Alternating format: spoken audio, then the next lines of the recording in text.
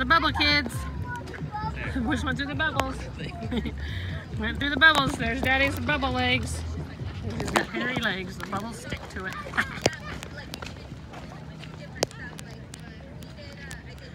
Riker's all about this marathon, man.